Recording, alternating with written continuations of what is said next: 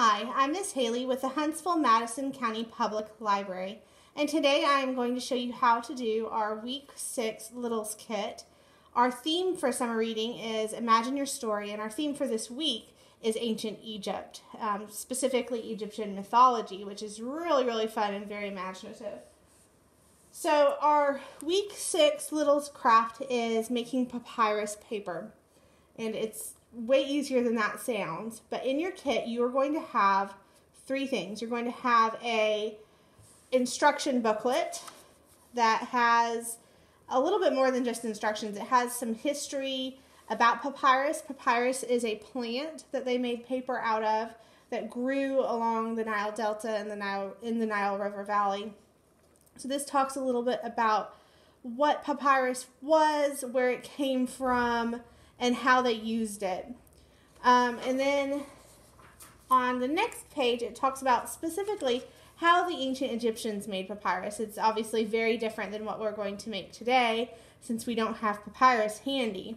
But they had papyrus just growing right near where they lived, and so they would harvest it and they'd peel that outer fiber away, which they would use for baskets. All right, so other things, sandals. Papyrus paper and then the stem dried. of it that was left, they and cut you into notice there strips. is a book sitting on top and of it, and that is pictured because here. Once it was and once they it had kind of these strips. They did a couple other things So to them. I they could lay them out morning and layer them in a way that would make paper. just to flatten it out, so you can So do that's that as how- well. that'll tell you how papyrus was made. Just make sure that Um, it's dry your enough. next You page is a reading response. So if you want to quiz yourself on your papyrus over the book, knowledge, you can do that. And, And what you'll wind up with page is your this right directions here. for making papyrus. And the last page are the reading response answers. Don't look ahead or do. It's up to you. This is for fun. Onto this wax paper. like a school I'm not sure what. I was thinking. So, the to one you really, really I need to make the craft the is wax this paper was uh, fifth off. page, fourth I had page. never done this before. Um, so that is making got to see papyrus, and it gives you step-by-step instructions Um, on but how to did do not. this. They're So actually really, really good instructions. trim so off the you could just follow this if you so that don't want to use the video, but you're here, so I'm assuming you want to use the video. stuck to your wax paper. So You guys also in experiment with that and your papyrus making kit, you will have parchment some brown paper Um, you bags. try spraying the paper probably about two. uh, non-stick spray. Given you what can experiment with that and craft see if you can make it and so you will have this have small piece of wax the backing of it. Then you will Um, need to provide this a is what I couple wound up things. with, You'll need I'm so happy with white that. glue. And It does not have to be ours. It can be any old brand of white glue, but you do need the liquid stuff, not like a glue Um, so stick. all you really need is some crayons. You'll need your a bowl. You could You'll look need up some water. Online. You might need a measuring cup if you want to be precise about it. I was not super Uh, precise. that's hard to say really and you'll fast. need a spoon or a stirring stick. I'm using the just a letters of your name, popsicle stick that I had on on there. I'm not going to use my spoon or it involves two really you know, hard whatever you ones want to draw to do it. um, that are So in my bowl- a lot of just lines. So Which I'm going to show you. and Oh, so we're gonna do gross. In my bowl is a quarter cup ish of water and a quarter cup ish I'm just gonna- of glue. put these out I eyeballed it, so I actually don't know how much is in here. But that's fine. You can just you want, measure. really. It's But half and half. So however much water you put in, that's how much glue you put in. You So I just eyeballed it. some But you're, whoa, paper. you're I gonna you stir it up and hopefully this. not spill it all over your I always table. really like making Make sure you're doing this a good way to have craft fun all the on time. But a hope you guys surface that's easily again and cleaned. enjoyed your papyrus craft. You don't Thank uh, you. This is going to get messy. This is basically a paper mache sort of craft. Um, and we're going to get our hands dirty. Our hands are going to get wet and gluey. And our table is probably going to get wet. I know myself. I've already made a mess. I'm going to make a bigger mess, you guys. That's just what I do. So make sure you're doing this on a surface that can be cleaned really easily. You could even do this outside, just like on a concrete patio if you wanted to. You could totally do this outside if it's nice. It's pouring rain here right now.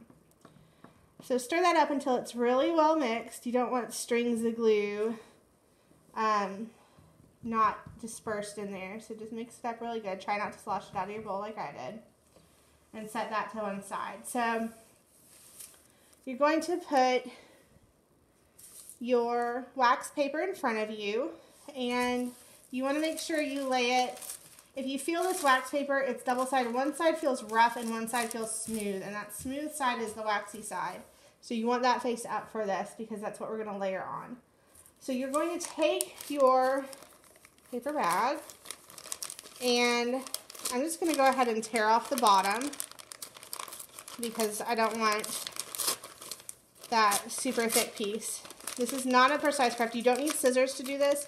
I think, in fact, they might actually adhere better if you don't cut them, if you whip them like that, um, rather than cut them. So you're going to rip off the bottom of your bag and then go ahead and just rip your bag open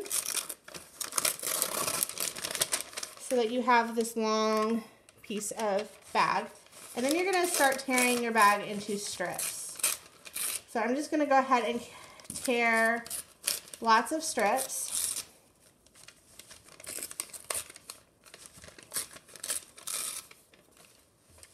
Until I don't have bag left pretty much. And we'll see how many this gets me before I dip into that second bag. I'm not sure how many this needs. It really didn't say, it just said a brown paper bag. But their picture totally has three. I'm just saying. I'm suspicious. So keep tearing. Like I said, they don't have to be perfect strips. I have a feeling those rough edges that we tear, that one's kind of big. Maybe I'll tear that one in half more.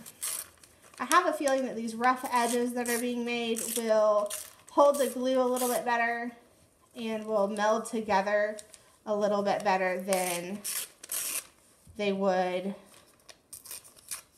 if you cut them. I could be wrong, but that's just what I think.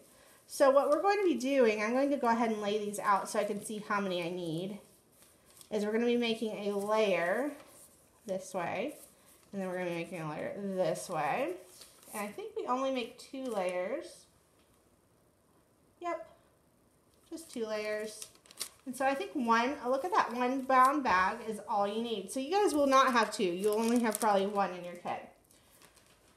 Because that is all you need for this. So I'm going to set my strips aside. And now comes the super gross messy part. So I hope you don't mind getting your hands dirty, you guys, because you are definitely going to have to for this craft. So what you're going to do is you're going to dip your strips in the glue water mixture. So like this.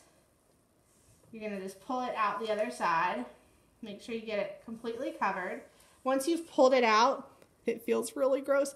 Hold it over here. I know you can't see the top of it, but I'm holding it just in my fingers over the bowl and I'm to run my fingers down it like that just to get the really like excess glue off. And then I'm to lay my strip down on my wax paper like that.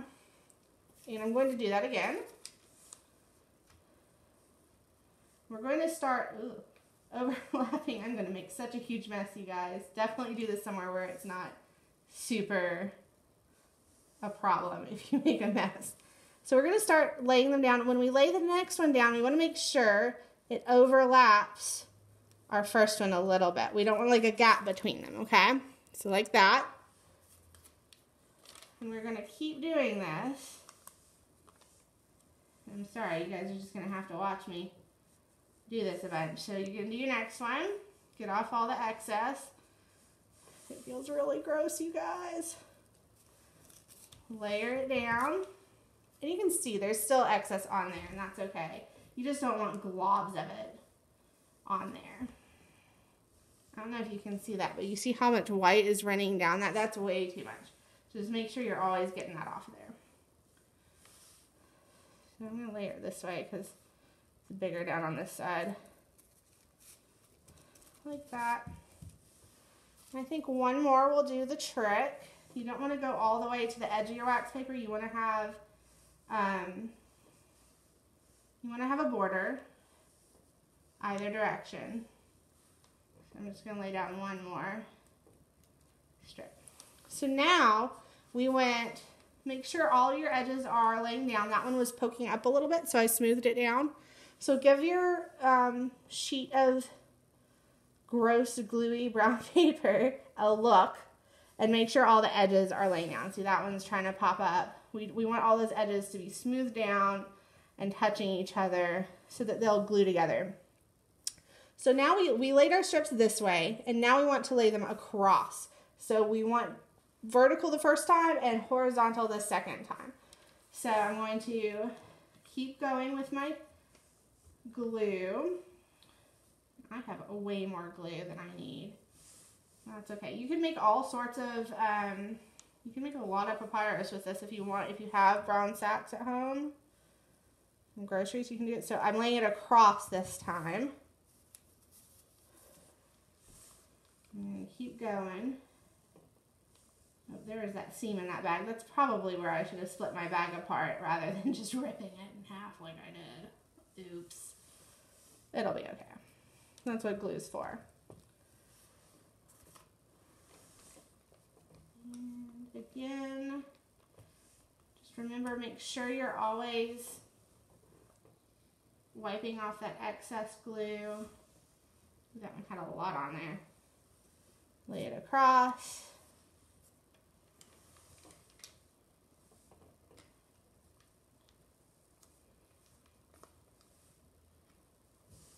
Oh my, look how much glue. Lay it across. I only have one more strip. Let's see if that'll get me all the way to the edge. I think it might. But if not, we can use our bag bottom to patch a little bit. In case you need to do that. Ew. Ew, it's everywhere. Okay. So again, just make sure all your edges are down. They're not popping up anywhere. And now, unfortunately, is the not fun part. You have to clean up and you need to let this dry. So you're going to set this someplace where it'll be safe. It won't get messed up. Set it somewhere where it can lay flat and you are going to let it dry. And I will see you once mine is dry. All right, so now my papyrus paper has dried. I let it dry overnight. And you may notice there is a book sitting on top of it. And that is because once it was dry, it had kind of curled up on the edges. So I, this morning, laid a book down on it just to flatten it out. So you can do that as well if you notice it's curling up. Just make sure that it's dry enough you can set the book on there without getting glue and grossness all over your book because that would be sad. And what you'll wind up with is this right here. And I noticed that it's pretty stuck onto this wax paper. I'm not sure what I was thinking was going to happen here. I kind of thought the wax paper was going to come off. I had never done this before, so you guys got to see me do this for the first time. Um, but it did not. So what I would do is trim off the edges so that you have just your papyrus paper when you're done, if it's stuck to your wax paper. You guys could also experiment with that and use different kinds of wax paper or maybe try parchment paper. Um, maybe try spraying the paper with uh, nonstick spray. You can experiment with that and see if you can make it so that you only have the papyrus and you don't have the backing of it. Um, but this is what I wound up with, and I'm I'm still happy with that. And now that you have your papyrus paper, you can decorate it. You can play with it. You can write on it. Um, so all you really need is some crayons or a pen. You could look up hieroglyphs online. If you look up hieroglyph alphabet, um, that's hard to say really fast. You can figure out the letters of your name and you could write those on there. I'm not going to do my name because it involves two really hard ones to draw um, that are bird shaped and then a lot of just lines. So my name's kind of weird in hieroglyphs. So we're not going to do that. But you can draw on it and it, crayons work really well on this surface. I'm just going to do a quick design to show you guys. And you can draw whatever you want really. But now that you have let your paper dry, you have some papyrus paper. I hope you guys had fun with this. And I always really like making a mess. I think that's a good way to have fun all the time. But I hope you guys join us again and enjoyed your papyrus craft. Thank you.